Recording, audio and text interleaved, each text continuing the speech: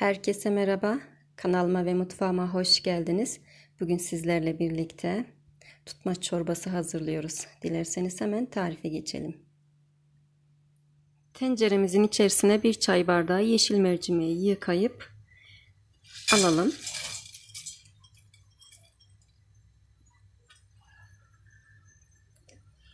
İçerisine iki su bardağı su ekliyorum.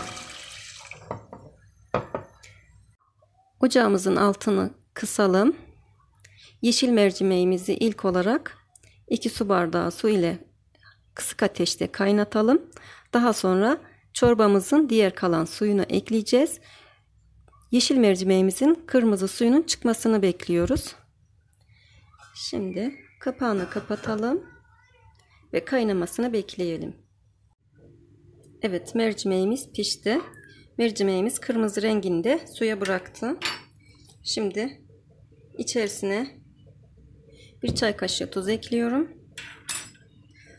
Daha sonra kesip kurutmuş olduğumuz çorbalığımızdan bir su bardağı karıştırarak ekliyorum.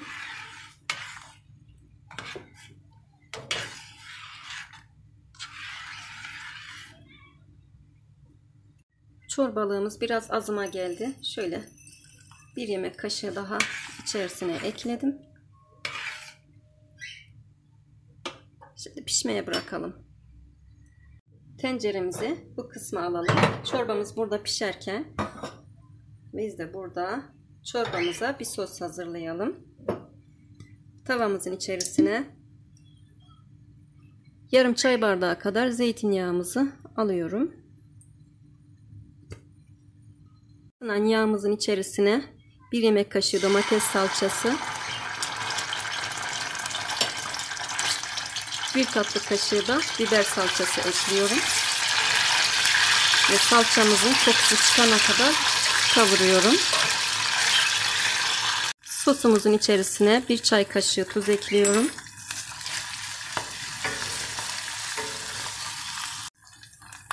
Tatlı kaşığı kuru nane ekliyorum.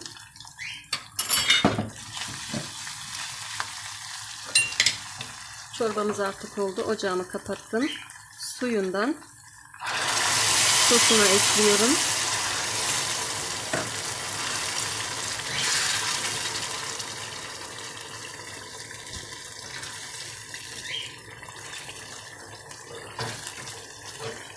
Sosu bu köşeye alıyorum.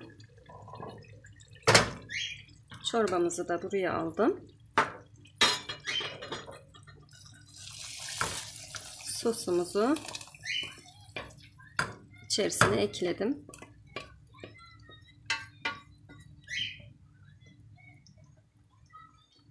Çorbamız artık oldu.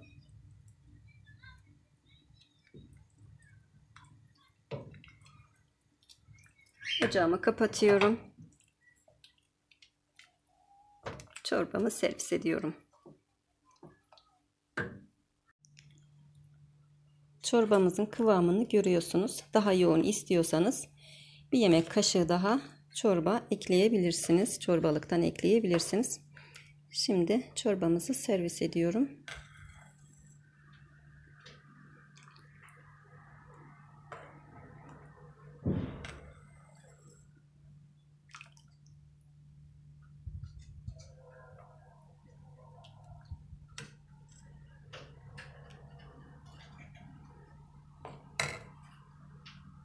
Evet, tutmaç çorbamız hazır.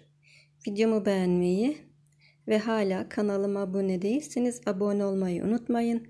Yeni tariflerde buluşmak dileğiyle. Hoşçakalın.